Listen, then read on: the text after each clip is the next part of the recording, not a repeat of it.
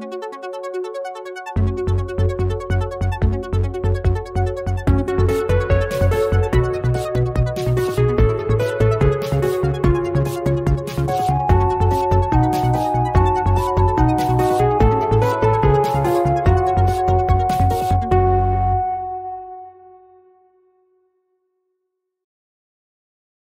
everyone. Hello.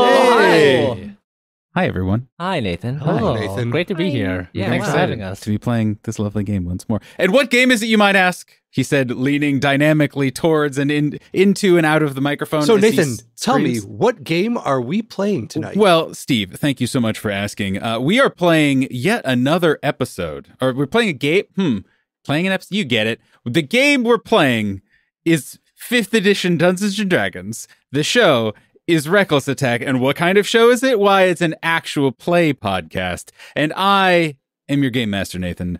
Joined as always by the excellent players around the table here, starting with Hi, everyone. I'm David, and I play Kashkrin Brightmane, the Dwarven Warlock. And I kind of wish that we had actually crashed all these Raven mounts so that I could be on the ground because, as it is, we're still flying. Well, d- yes, I guess depending on what point in the fiction we want to pick up, you're either definitely We did flying. land. You could be immediately in the aftermath of looking for the maybe Oh, right. once dead mango. We did land. You're right. I understand how you blacked out Yep. that horrific moment from your your brain was just protecting you. R.I.P. Mango. Yep. Long live mango. yes. Yeah. I, I just completely forgot about uh, what happened. You, David, Wow. blocked that out from your Yeah. memory. How could that be? To my left. Hello, everyone. My name is Steve, and I am playing Selv Asterlin, the Dragonborn monk, who I guess was flying and possibly falling with style, but uh, is now on the ground looking again for the remains of our dear departed mount friend, Mango. And across the table from me, Hi, everyone. I'm Sophie, and I play Valeska Carter, the human astro cleric of the Arcana domain. And Val is super pissed at Checkers because Val knows Checkers died. Or not Checkers, Checkers did- Mango. Checkers well, dead. Checkers Is about to was die. about to die. Yeah. but Val knows that Checkers sent Mango Mhm. to Mango's death. Yep, definitely. And then is now just pretending like everything's fine with Mango being alive. But Val knows physics and like that does not work. And that frog was at terminal velocity. Yeah. For sure. Yeah, for yeah, sure. yeah. And Val's like, there's magic happening here, and she's got to figure out what it is. Hi, everyone. Sophie just pointedly glanced at Yeah. Jonathan to be like, I'm not saying shit. Right. You better start. I'm Jonathan, and I am deeply afraid of Sophie right this moment as I am playing checkers, the Grung Druid, and his trusty frog pals, Mango and Junior. His tr- no, his trusty frog pal, Pal. Junior. Junior. Only Junior. Mango just hides behind a tree at the withering glare of Valeska, just like the withering Checkers. glare is not towards Mango. Everyone, let's be clear. That's right, everyone. Well, before a frantic search for the remains of Frog, which is just not a fun sentence to say aloud, the party was on their way to a mysterious, what they have been told, giant burial ground of some sort, which is the next stop on their journey. And you had a fancy Raven Mount kind of courier service that was taking you there certainly it's going to be like a lot safer than walking on the ground for sure. Mhm. from some of the stuff we've seen in the air, I'm going to call it about maybe maybe 55, 45. Mm, mm. See, Steve's got the right idea. Where the air is dangerous and we should never go there again. uh, you guys were attacked by wyverns, is the takeaway. But um, boy, was I hoisted by my DM petard last session because boy, I really had a lot of very intensive mechanics. That was like, oh, well, I have to perfectly craft all of these rules for if they're falling. And uh, no, you just beat the fuck out of those would-be dragons, and it was just a delight. you guys are able to not disconnect with your Raven Mountain escorts and are actually able to get a ride all the way to your next destination. It is still relatively light out, um, but again, the sun is certainly setting. And the Raven mounts are actually turning around at this point. The group of you say your goodbyes, and there's an air of people seeing off heroes. As far as they are concerned, especially Juniper, they are seeing off a group of adventurers off to their next great mythic quest that is in the bowels of a mountain driven by a mystical riddle and that's that's one of the coolest things that they've seen in quite some time juniper kind of gives one last wave and would have said before he left remember if they come back or you need anything you let us know it looks very serious, very solemn at you all. Thank you. Safe travels. We'll see you again soon. If you ever make your way to Agmar, know you have friends in the city. He nods and then turns away very quickly so that you cannot see any emotion that may or may not be presenting on his face.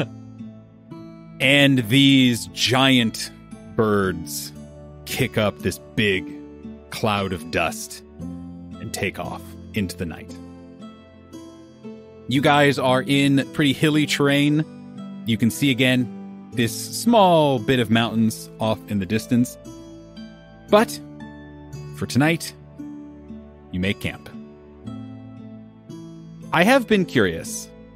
For you guys, is there a set chore list are there jobs that every that I do this job every single night, or is it like, well, it's Thursday, so that means it's Checker's turn to build the fire.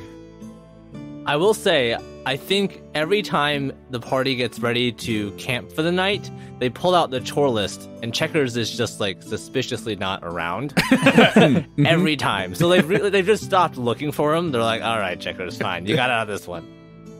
I feel like Kaskrin's job is both to make like the earthen table that we all like Yeah. sit around, but also to like get out the tent and do all of like the little fiddly like Yeah. fiberglass, like get all the tent Perfect. set up, and it takes like two hours and it just sucks. Is Kaskrin very well practiced at this, or does he is that just his job? I want to say it's both because Totally. he has probably been doing this for mm-hmm. you know decades at Exactly. this point, Right, like, exactly. out on patrol. But it just it never gets any easier. it's just like putting a puzzle together where the puzzles change every time you like the pieces change every time you look at it. And they, it. they keep I- coming up with these newfangled tents, Yeah. and oh, Yeah. this one's different. I feel like Val has asked, like, I'm like, hey, Cass, do you need help? And he's just been like frustrated Got at that this. point. Yeah. Like, no, I- I'm fine. this is my cross to bear. I imagine I imagine that to make things easier, Val has also tried to label sections. Absolutely. So you, you connect like A to A, B to B. But I also imagine that one of Checker's favorite activities Oh. is to take is to Mm. dismantle the tent and occasionally change B and C. Yeah. Or change A and D. Or you know. Mm. And so even though this worked yesterday, this worked last night, why don't these two pieces fit together anymore? And there was just a scene like a couple nights ago where he's got two of those like long tent pieces in his hand, just shouting towards the sky, "Damn you, tent makers!" the saint, you cu- you curse the name of Yeah. the saint of tents. I also kind of picture that Cass puts it together sized essentially for a dwarf. Mm-hmm. So Selv is always Yeah. in his tent Yeah. bent over and, and like, oh, like crawling in. this is how the tent came. I don't know. Yeah. This is what you do with tents. Mm-hmm. What are those those missing pieces over on the corner? Don't worry about those. Just shoves them off into the distance, right into the Those, fire with those them. are optional. Those Yeah, are right. always optional. There's always optional. Like, I'll come with extra pieces, you know, just in case.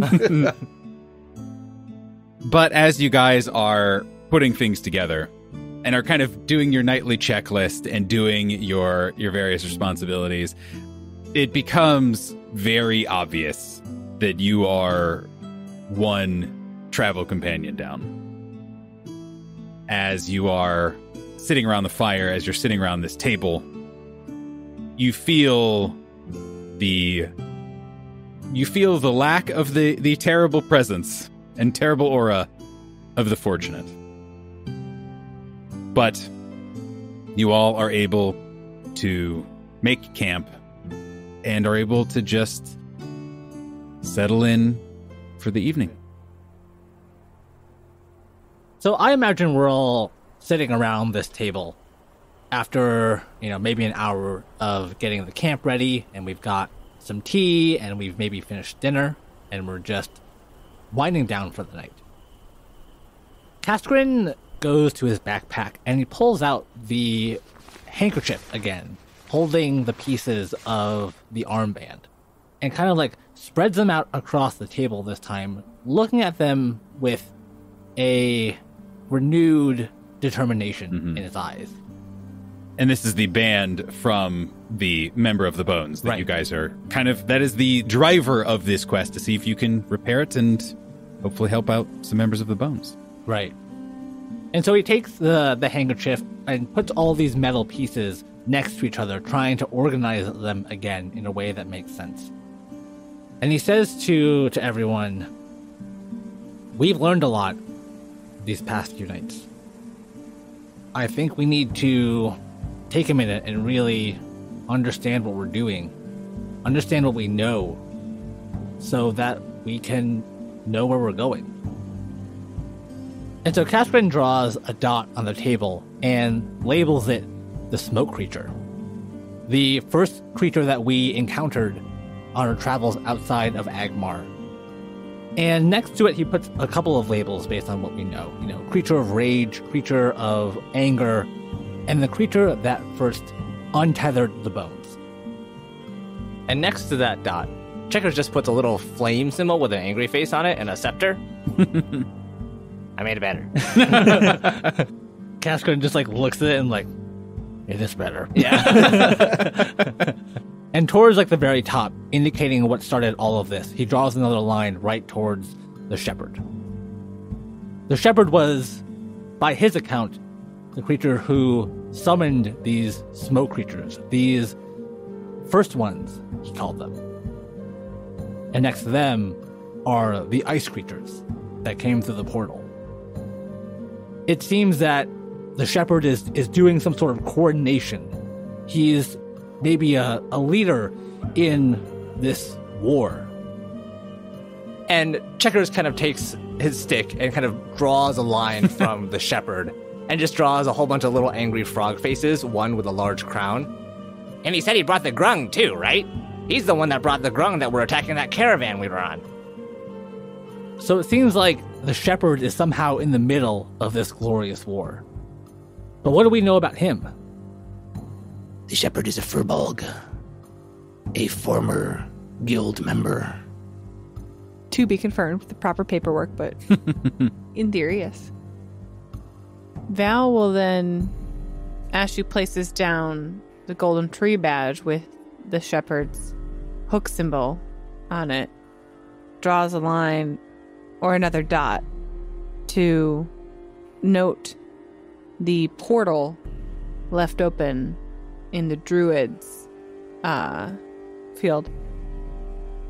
This symbol was seen on the the elf who opened the portal in the druid's grove. This is a problem with creatures that can turn themselves into other things. is all of this just the shepherd? Could be they, you know, were among us for a full day as Amber. We didn't even know. They could be anyone. They are immensely powerful. They've, you know, before the battle, they stopped time. That is magic seemingly lost because no one has been powerful enough for decades, possibly, to cast it. When you saw the shepherd sitting in a cave, you caught a glimpse of the outside of the cave. Any idea where that was? You can roll me a survival check if you'd like. Guided. Yeah, you Where is it? Where is it? Friggin' cleric. Where is it? Where is it? Four for my guidance, so 18 on the die, but you said survival, right? Wow. Yowza. Uh, survival, that's going to be. Oh, a- wait, no, like, sir, I could be a. oh, It's not a negative. I didn't drop any stats. Oh, it's a plus four, actually. Hey. 26. I didn't realize it was a wisdom. You're fine. is the point. you, you would you would know and would have known in the instant that it is not anywhere near here. And as you are sitting here right now, very purposefully thinking and trying to be like, okay, what is it? And you're praying over it and you're really reflecting.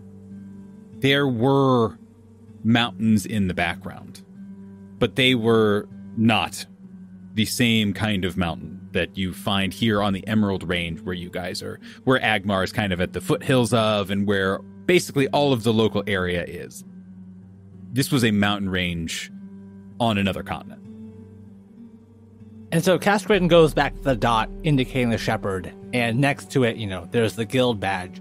Maybe there's the four badges of the guilders that were mm-hmm. lost. There's the word amber. There's the word elf with a question mark. And under that, he scrawls in the word immortal? Question mark? Question mark? it's definitely possible the vision or visions I had started with the shepherd much younger, meditating outside of a portal in a cave, the same portal they now wield. And then it moved to. It's so hard to tell, but felt decades later when they went and tried to fight the Ultra Giant. And even though that time had passed, and it's hard to describe, but in the vision, they just felt the shepherd felt more powerful than before. They were still useless against the Ultra Giant. Selv, because you are trained in nature, based on what Val tells you about kind of the scenery of this kind of meditation thing, the way that the stalactites and stalagmites are different and kind of the natural erosion of a cave and that kind of stuff, which you would know being someone who lived a lot in mountain a mountainous area. It is decades, if not longer. Rocks like that do not form quickly. So it could be decades or even centuries. even still, they describe themselves as a mortal and that they were fighting on our side. And he mentioned a lot of other things during our battle. So maybe what else do we know he knows? He knows about the gods, he knows about the Eternal Citadel, he knows about the Ultra Giants. He knows about Valkyrie and the quarry. He knows the words of power from the old Golden Tree Guild. The first ones. The second ones. Speaking of things that are really, really old, Checkers draws. Cascarin. no, Burn. Checkers is going to draw a line from the shepherd and he's going to point it towards a big flying lizard. I like the idea that you've just been drawing it in the background. Yeah, yeah. All this else, all this it's very detailed, surprisingly. Salve, I thought the shepherd knew something about dragons, and they might have been even old enough to see one. And we all saw what the shepherd saw in your dream, trance, vision. We all saw what happened to you at the monastery, Salve. Oh. The main purpose of the monastery is to protect those eggs. I will answer any questions that you may have, but I ask that you keep the knowledge of the existence of the eggs at the monastery to yourselves. of course. I got the impression that the shepherd didn't know that before, didn't know the purpose of the monastery. The monastery itself is ages old and secretive, so they might not have ventured to that part of Rixia. But it seems that the shepherd does have an immense well of knowledge. And also, is your monastery the only one that's protecting these eggs? Is Kavo secretly sitting on an egg somewhere protecting it? That would be a I- sight. But not, he wasn't originally. I would say that's doubtful that he himself is sitting on an egg and protecting it. Let me have my happy place. It's possible that his monastery may have some. I don't know the extent of the distribution of any remaining eggs. Is there any chance, Selv, that the shepherd goes after the monasteries next? We know that he knows about the location of the druid circle now. I presume that they're on their way now, but maybe afterwards with this new knowledge. It could be if it factors into any of their plans. They may have no plans for need any eggs Mhm. whatsoever, in which case it's just another thing they know, but nothing to act on. Agreed. But I still feel I should warn the monastery somehow. We saw someone in that vision taking an egg out of the monastery. Do you know who that was? No, Do you know where that cool sword they had was? I know it hurt, it did seem quite vicious. but I, I don't know anything about it. That was maybe something else that could be researched. Because it does seem like a relatively unique item. Val has just like one notebook that's just like two research, yeah. That's it. just Yep. like bullet points. And now, a word from our sponsors.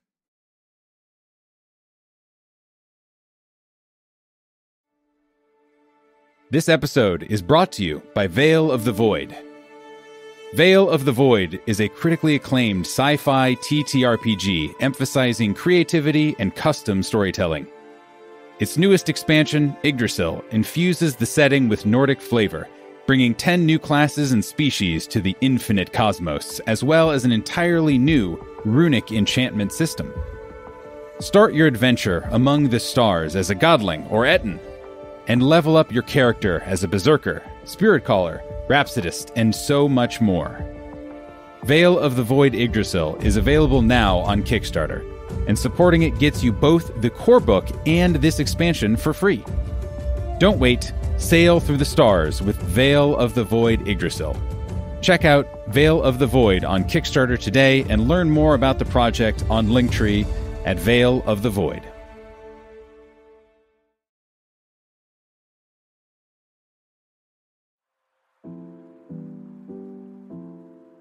Hello again, everyone. It's me, DM Nathan, and welcome to the mid roll. This is where we remind you to follow us on all the social medias, particularly on Twitter at reckless underscore attack, where we are posting memes and behind the scenes things and all the best types of promos and nonsense and if you are enjoying and want to support what we're doing, please consider supporting us over on Patreon. It is one of the best ways to help us improve the show and let us do cool new things.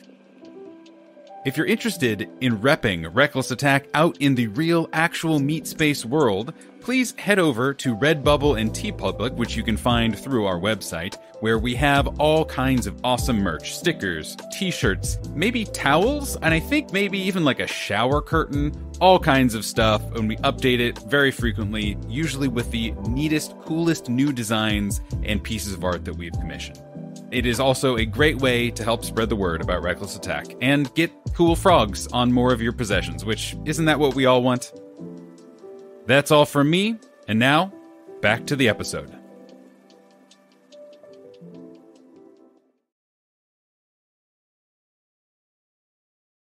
And at the very end, much like we were able to see into Selv's worst day, we saw the shepherds too. We saw him fighting against the Ultra Giants. We saw him doing everything that he could, throwing his hands to the sky and shouting that the gods had forsaken us and that we weren't enough ourselves, begging the gods to come back. He must know more about the gods and where they went than we do, than the histories tell us. Do you think that was immediately upon their departure? Or was he just calling out to ask them to come back? They were calling out after they fought the Ultra Giant, which was ages, centuries after the gods left and even the saints departed. The shepherd is an undeterminate age. They could have maybe overlapped with the saints, but then that goes back to the question is the shepherd immortal? Selv is going to um, reach over and pick up the the drawn stick, um, and basically just kind of trace a little line parallel to the first ones, parallel to the smoke creature, uh, parallel to the grung, and draw a line out. And at the end of it, draw a little skull with antlers and label it Mothman. Maybe they walked into the city under the guise of someone else and summoned the Mothman. We know it was summoned from somewhere within the city. This is Oh. true. We know whoever did it must have been powerful to bypass the city's defenses. And to summon more than one. So, what was notable was that not that there was one Mothman summoned on each of the nights, but that at the end, at the final confrontation, was there were many Mothmen. And that was never in any of the research that Selv and Val did, never ever happened. Like it was all, always one final kind of entity that was the kind of harbinger of Okay. of Mhm. the doom. So Checkers is gonna grab the drawing stick from Selv Hey, hey, my stick. And just draw like a squiggly line from the Mothman that you put down back all the way to the first ones. And from there, extend a line towards Valkyrie. So, the first ones, there's a whole bunch of them. We fought the ice creatures, we fought the smoke creature. Who knows, maybe even the Mothman is the first one. But Val, Valkyrie's the first one too, right? And the creatures that we fought in your mind palace, those were also the first ones. Yeah. They are all the first ones. Valkyrie is of a division, a group of first ones called the Quarry, who broke from others. Valkyrie, in fact, looks more like the first ones, but is able to take on a form similar to mortals so that when I was younger was not afraid. Our connection is built kind of to suit what my brain understands. So maybe the shepherd has one of these bad Valkyries in his head. That could be. I don't know. It could be many things. There are many reasons the shepherd could be opening these portals and bringing these creatures to our plane. We saw their worst day of them cursing the gods, and I feel that that is a catalyst a spark that may have started what is now building to a tumultuous ultimate war. So I think it turns out we know a lot, actually. I think the question is what do we want to do with this information? We can't fight them ourselves, but we also can't let the shepherd do whatever they're doing. They're causing havoc, they're hurting people, they're hurting our friends. I've been sending messages to my mom and the illustrious Atheum. It's always helpful to get more research. I've been keeping Berga up to date. I'm sure she's talked to Nam. So it's not just us. We have others ready to help. I can always keep Juniper informed as well.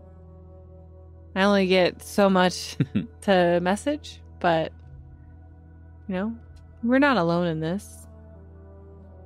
But I don't know if we can or even should fight them. I don't know that we're strong enough. And Checkers pulls out from underneath his cloak the black raven mount pack that was given to us and sets it down in the center of the table that we've been working on. And sticking out of it is the cracked helmet of the fortunate. And as Checkers does so, he says, I don't know about you, Cass, but I know what I want to do. I don't think it matters if we're strong enough. We have to. We may not be strong enough by ourselves, but if we gather enough allies, I believe any evil can be brought down. And Cass looks at everyone and doesn't really know how to feel. Because it feels like everyone is ready to move forward, but Cass is still held back by fear, by what he saw. But at the end of it, he says to everyone, but mostly to himself, we have to. We have to fight him somehow by finding allies, by growing stronger, by becoming more. Can Val do like an insight check? Or does even Cass share his fear?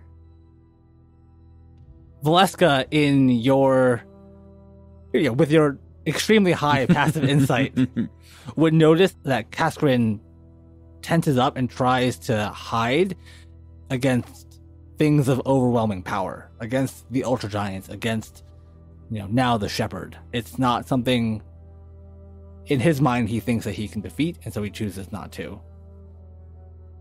Wanting to address Cass's fear and understanding where it comes from, what happened in Lotros, and what Cass saw firsthand and had to fight through. And really not even fight, but survive. She wants to offer Cass like comfort in this insurmountable situation and say that though we say all of these things, we say that we have a plan, there's still a fear of failure. And we saw how close we came to that with the Mothman and the consequences. What would have happened had we not been there, had we not succeeded? It seems like that may happen at a larger scale. We talk about doing more research, gaining more allies. We say that because that's what we can do. That's our plan to move forward. And it still might not be enough. But we have to do what we can with that fear weighing on us. That's how I feel. I am afraid but a plan and a list do, do help me feel better. They help me manage my anxiety. Then maybe we just take the next step and see where the rest of them come. We know we have to find Lorana. We know that the answers to where they might be will be in this giant graveyard in the mountains where we find ourselves. Maybe that's all we do.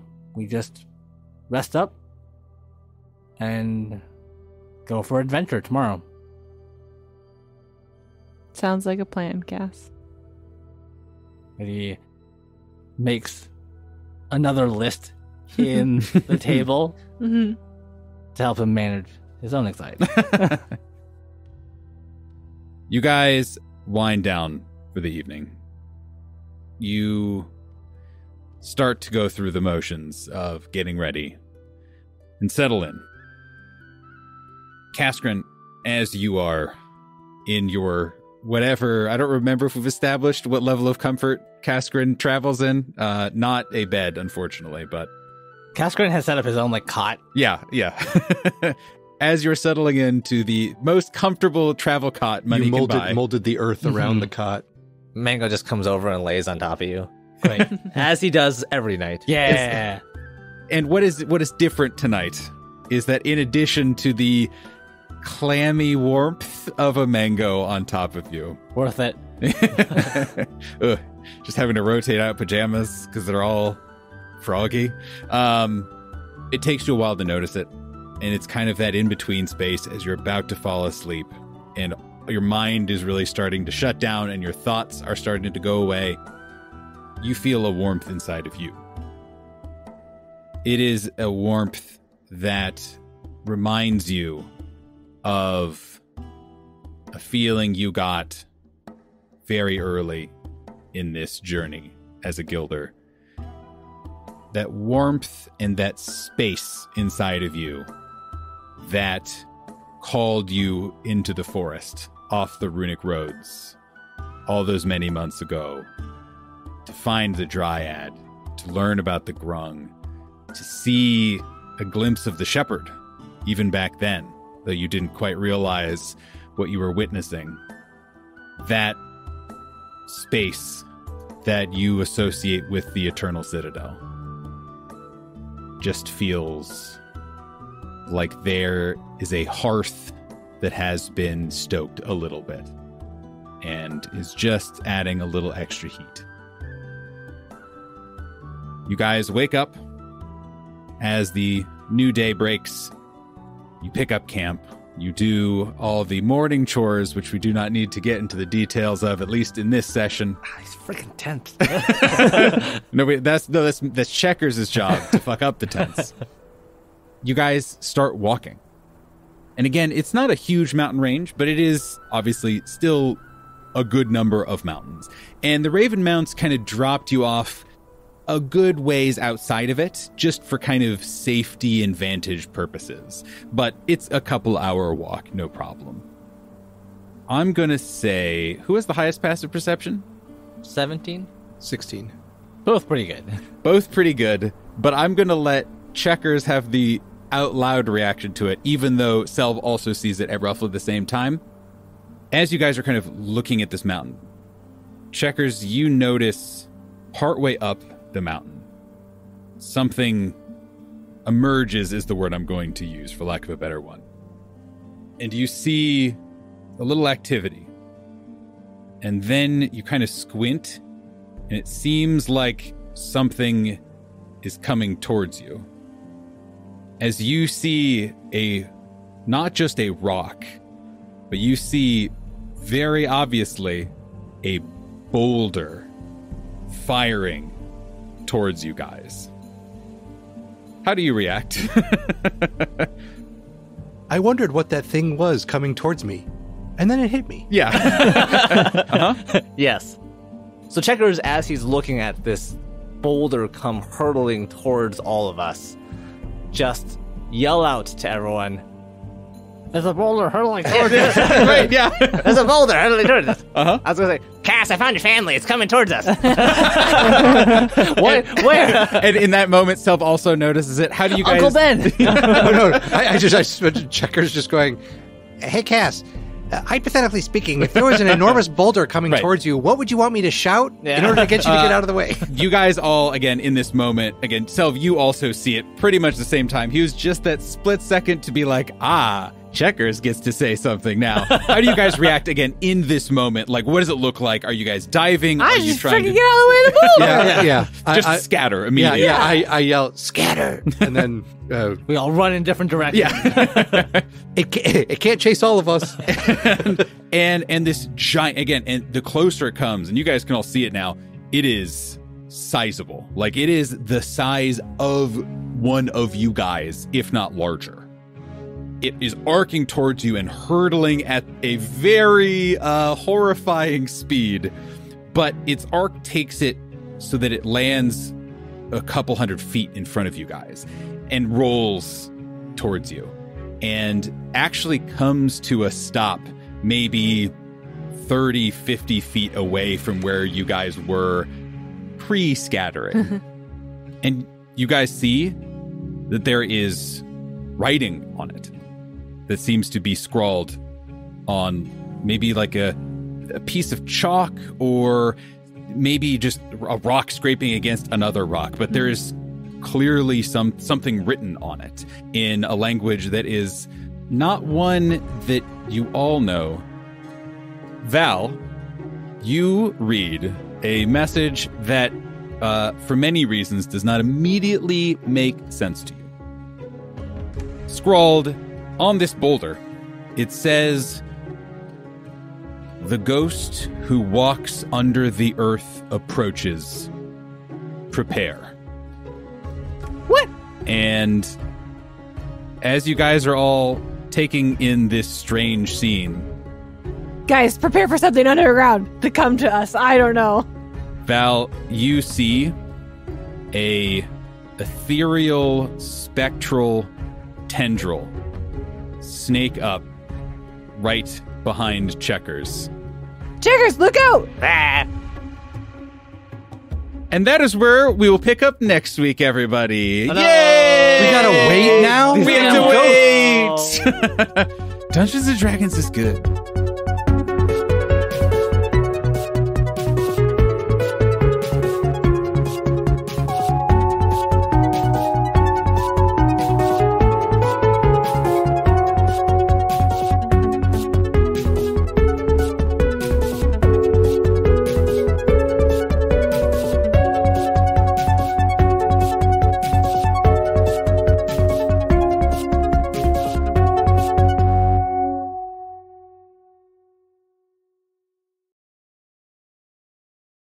The day is winding down. You guys have, you know, again, we're skipping forward a little bit. Checkers has already been uh, cuffed upside the head by at least we'll say one to three members of we, the we got in a line guild. to do this.